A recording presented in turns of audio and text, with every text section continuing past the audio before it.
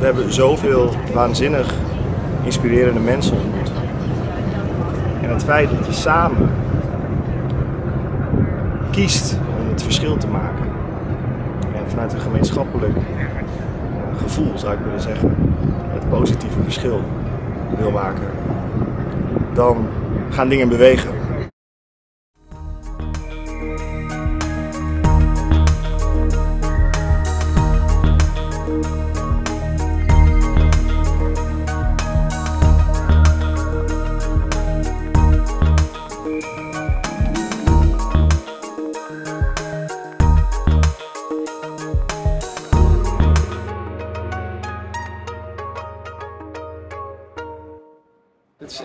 Unieke ervaring. En zeker als je het hele proces beschrijft. In het begin eh, begonnen we heel breed met, eh, met waar gaat de missie over, wat gaan we doen, hoe eh, steken we het in, hoe koppelen we China aan een, aan een, aan een leuk thema. We hebben, vanuit onze eigen passies hebben we bedacht dat we iets met food wilden gaan doen, met voedsel. Daaruit kwam voedselverspilling. En dus we zijn nog meer gaan trechten, uiteindelijk gezegd naar rijst. Omdat uit onderzoek is gebleken dat dus die 30% van de rijst die gekookt wordt allemaal wordt weggegooid in Nederland. En uh, dus we hebben een heel klein thema hebben gepakt en daarmee zijn we naar China gegaan.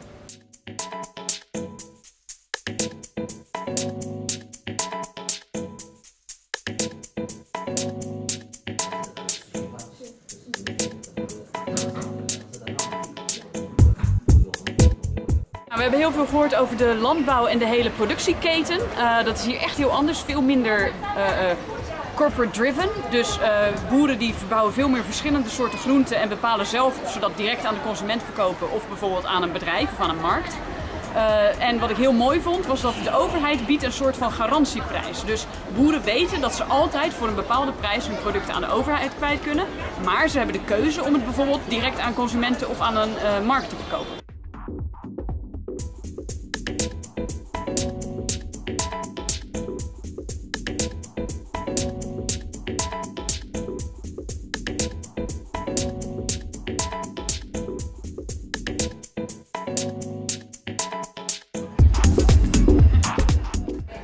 Wat ik echt gaaf vind aan dit project en deze reis, is dat je uh, als groep ook een reis doormaakt voordat je richting China gaat eigenlijk al. Omdat we zelf de doelstellingen mochten bepalen.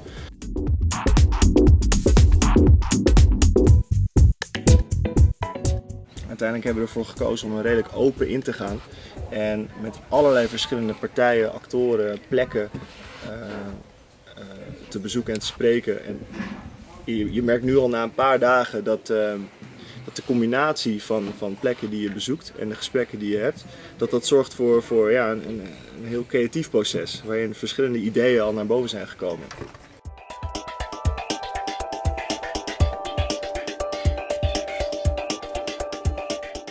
We hebben een heel programma met allemaal um, mensen die Leo Jan al heeft gevraagd uh, voor interviews.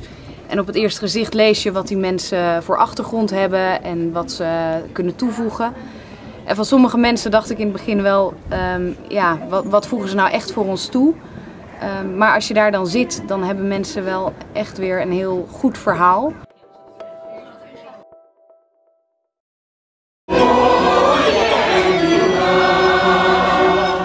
Wat tot nu toe heel erg opvallend en inspirerend is, dat zijn de cultuurverschillen. Er is hier veel meer een holistische aanpak, er wordt veel meer naar de lange termijn gekeken. En daardoor vallen er voor ons nu sommige dingen af. Eerst dachten we, we kijken naar recepten voor restjes, maar nu hebben we zoiets, nee, je moet veel meer aan de voorkant gaan zitten, dus zorgen dat er überhaupt niks overblijft. En daarvoor komen we op drie sporen uit. Dat is uh, design, dat is storytelling en dat is ervaring.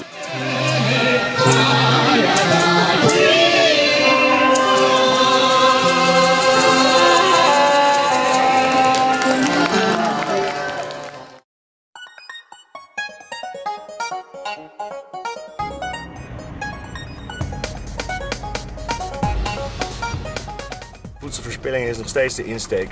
En je kunt voedselverspilling van verschillende, op verschillende manieren tackelen. En in plaats van dat je helemaal aan het eind zit, dus omgaat met het probleem als het probleem al gebeurd is, gaan veel meer kijken naar hoe kunnen we het nou oplossen. Al eerder, door gedrag aan te passen, door mensen uh, meer bewustzijn mee te geven over waar voedsel nou daadwerkelijk vandaan komt. Nou ja, we hebben vanochtend gebeld en uh, het is waanzinnig, maar het is gelukt. We staan nu bij een basisschool en we gaan hier nu kijken hoe kinderen eten en wat ze hier met eten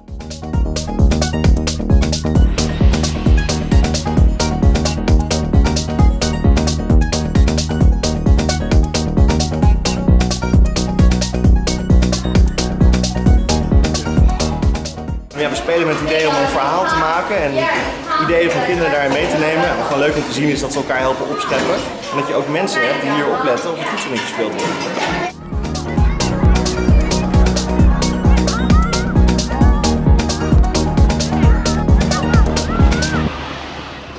We willen de kracht van het verhaal gebruiken om uh, voedselverspilling tegen te gaan.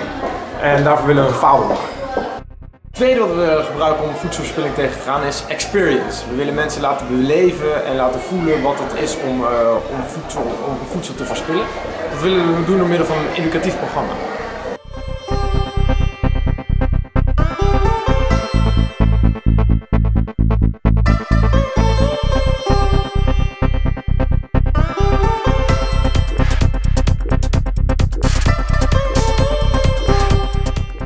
In Nederland komen moeten we natuurlijk echt iets gaafs uh, presenteren. Iets dat ertoe doet, iets dat het verschil kan maken in Nederland.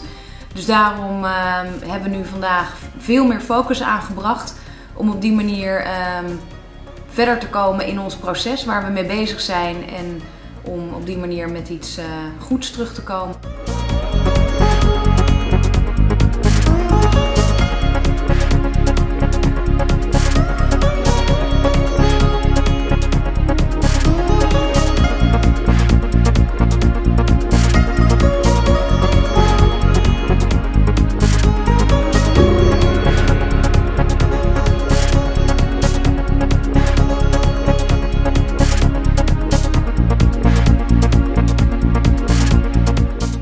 Kwamen hierheen met de vraag hoe kunnen wij uh, voedselverspilling in Nederland terugdringen. En op een gegeven moment is dat een soort van getrechterd naar hoe kunnen wij kinderen beïnvloeden zodat zij minder voedsel verspillen.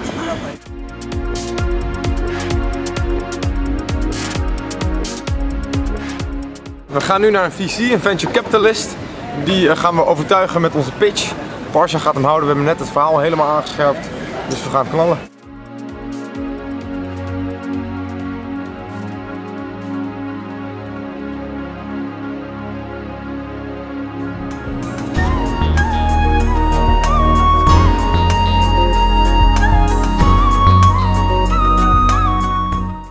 Book is a great idea, and I think you got to think big.